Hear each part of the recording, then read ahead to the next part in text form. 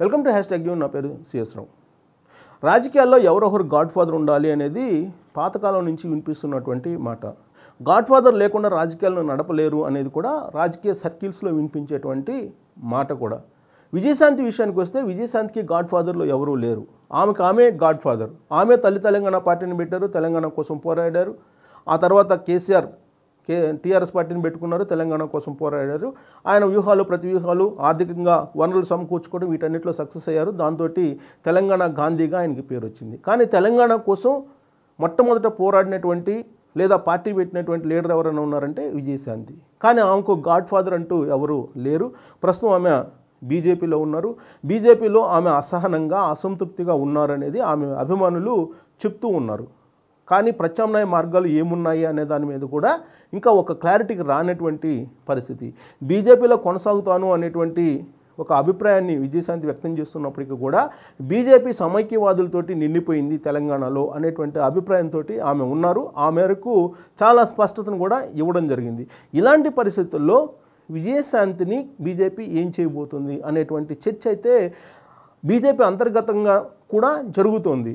వాస్తవంగా ఆమె గెలిచేటువంటి అసెంబ్లీ స్థానాలు కొన్ని ఉన్నాయి సర్వేల రూపంలో పరిశీలిస్తే కనుక కానీ ఆమెను మేదక్కు పంపించాలి మేదక్కులో పోటీ చేయించాలి అనేటువంటి ఒక అభిప్రాయాన్ని బీజేపీలో ఉండేటువంటి కొంతమంది లీడర్లు భావిస్తూ ఉన్నారు. సో ఆ మేరకు ఒక నివేదికను కూడా బీజేపీ అధిష్టానానికి పంపించినట్టు తెలుస్తుంది. ఇదంతా కూడా బీజేపీ తెలంగాణ విభాగానికి కిషన్ రెడ్డి బాధ్యతలు స్వీకరించిన తర్వాత అధ్యక్షునిగా జరిగినటువంటి పరిణామాలుగా చెప్పుకుంటూ ఉన్నారు. సో దీని వెనక ఒక పెద్ద కుట్ర ఉంది. విజయశాంతిని రాజకీయంగా దాదాపుగా శూన్యం చేసేటువంటి ప్రయత్నం బీజేపీలో ఉండేటువంటి కొంతమంది కీలక లీడర్లే ప్రయత్నం చేస్తున్నారు అనేటువంటి కొన్ని ఆరోపణలు అలాంటి విమర్శలు లేదంటే అలాంటి అపోహలు అపవాదులు వినిపిస్తూ ఉన్నాయి. ఆ అపవాదులు అపోహలన్నీ కూడా కిషన్ రెడ్డికి అలాగే కిరణ్ కుమార్ రెడ్డి చుట్టూ తిరు తిరుగుతూ ఉన్నాయి. కిరణ్ కుమార్ రెడ్డి శిష్యుడు కిషన్ రెడ్డి అని చెప్పి చాలా బలంగా ప్రజల్లోకి వెళ్తూ ఉంది.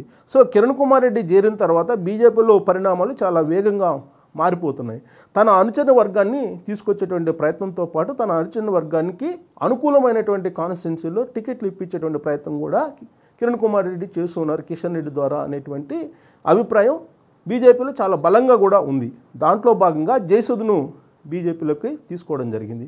ఆమె భావజాలం కానీ ఆమె నేపథ్యం కానీ ఇవన్నీ కనుక తీసుకుంటే బీజేపీకి బీజేపీ సిద్ధాంతానికి వ్యతిరేకంగా ఉంటాయి. గతంలో కాంగ్రెస్ పార్టీలో పనిచేశారు. ఆ తర్వాత వైఎస్ఆర్ కాంగ్రెస్ పార్టీలో ఆ తర్వాత టీడీపీలో ఇలా రాజకీయ పార్టీలు మార్చినటువంటి జయసుధ ప్రస్తుతం బీజేపీలో ఉన్నారు.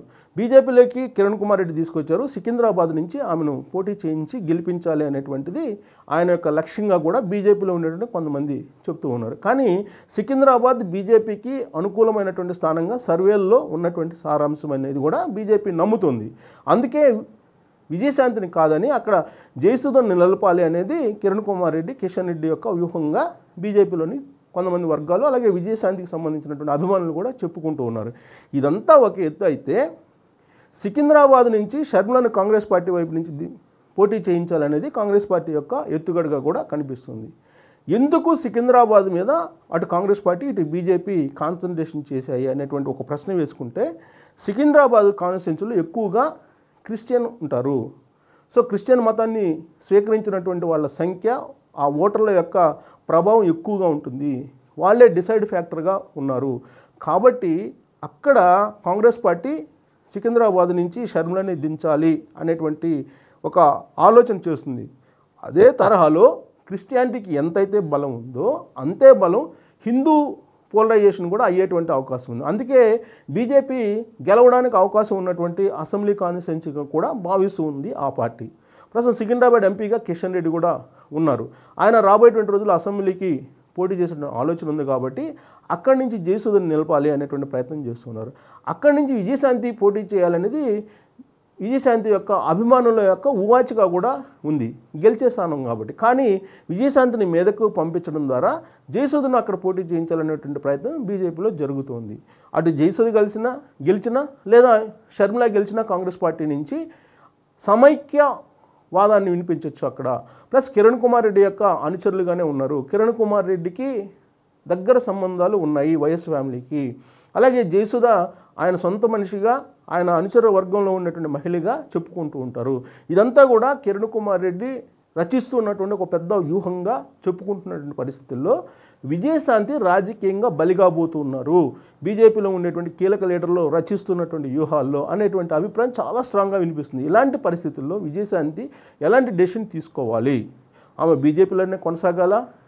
లేదంటే జయసూదన్ కాదని సికింద్రాబాద్ నుంచి ఆమె స్థానం సంపాదించుకోవాలా? టికెట్ సంపాదించుకోవాలా? అసలు విజయశాంతి పరిస్థితి ఏంటి అనే దాని మీద మీ అభిప్రాయం తెలియజేసి వీడియో నచ్చితే ప్లీజ్ సబ్స్క్రైబ్ అండ్ సపోర్ట్. మీ thank you